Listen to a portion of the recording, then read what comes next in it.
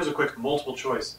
You have a friend that claims to have a converging lens that diverges light somehow.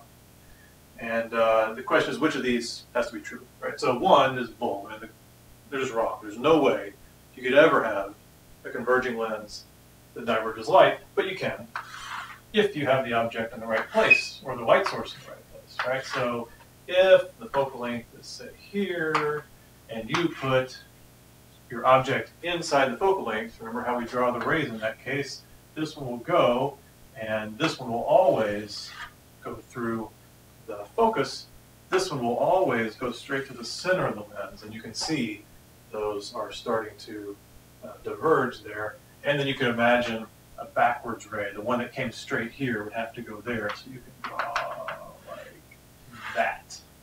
So those are diverging rays. So a converging lens can diverge light if you put the source of the light or the object really close to it. So this actually is not true.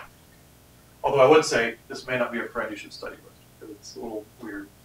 Um, next you could say F is positive. The focal length value of the lens is positive.